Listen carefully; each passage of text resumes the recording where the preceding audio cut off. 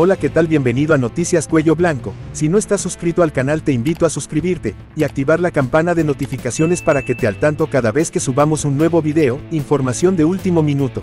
Una agente de la Policía Nacional, muere al ser impactada por una camioneta, hecho ocurrido en San Cristóbal.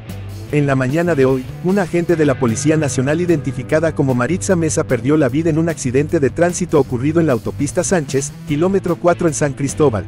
Mesa se trasladaba en una pasola cuando fue impactada por una camioneta conducida por un profesor no identificado aún. A pesar del llamado de emergencia al servicio 911, lamentablemente, la oficial falleció en el lugar del accidente.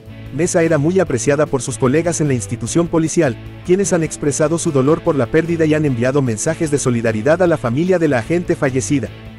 Mientras que por otro lado, la Policía Nacional captura a integrantes de una peligrosa banda de asaltantes. Agentes de investigaciones criminales DICRIM de la Policía Nacional han logrado la captura de varios individuos acusados de cometer atracos en Moca y La Vega. Se trata de Anthony Jiménez, apodado El Chino, de 29 años de edad, Heriberto Guman Muñoz, alias Lele, de 21 años, y Raymond Antonio Reyes Díaz, de 18 años. Según las investigaciones, estos sujetos conformaban una asociación de malhechores que operaba en la zona. El vehículo utilizado por los delincuentes, un Hyundai gris que aparece en los videos de las cámaras de seguridad, ha sido confiscado por las autoridades policiales. Los agentes vinculan a estos individuos con varios robos en establecimientos comerciales, incluyendo uno en el que despojaron a una víctima de 142 mil pesos dominicanos y una máquina traga moneda en Moca el 3 de mayo de 2023.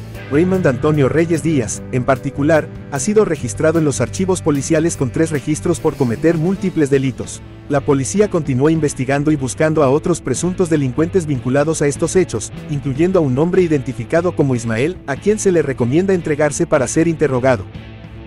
El momento exacto del accidente, que dejó un muerto y cuatro heridos en Altamira, de Puerto Plata.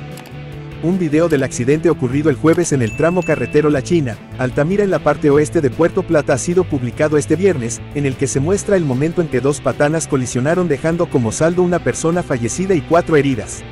La víctima fatal fue identificada como Nelson Hernández Osoria, quien manejaba un camión Freightliner de color blanco, placa L284033, cargado con sacos de harina de trigo y se dirigía hacia Puerto Plata. El vehículo de Hernández chocó frontalmente con un camión Mac rojo con matrícula S003861, conducido por José Luis Álvarez Crisóstomo, quien resultó gravemente herido.